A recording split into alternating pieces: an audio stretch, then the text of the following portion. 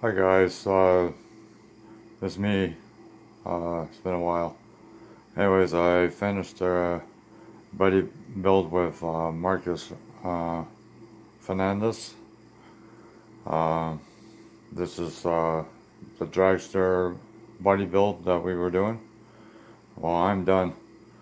Finally. I tell you, this this thing was a bear to uh, put together. But anyways, I'll remove the box and we'll have a look. Uh, there she is, guys.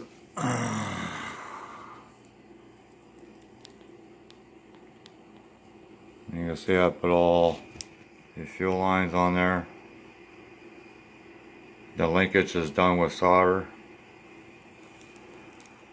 I uh, dechromed the rear rims because I rails never had that much chrome on it. I put the helmet on the on the tire because that's usually what they do after you finish the race. Put a pull cord for the parachute.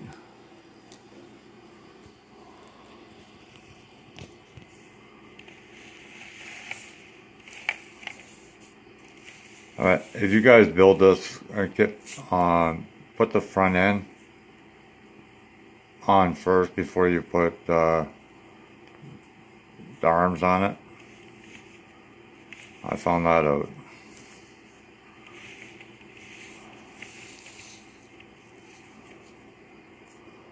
I also put a throttle cable to it. Added the parachute line on the back. Didn't turn out too bad, but it is what it is.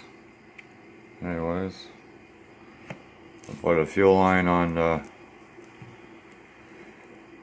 to the tank.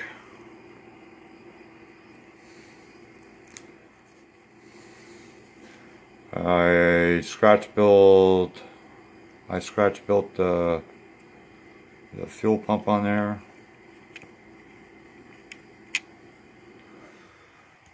But there she is, boys. Uh, going to be uh, starting on the van shortly.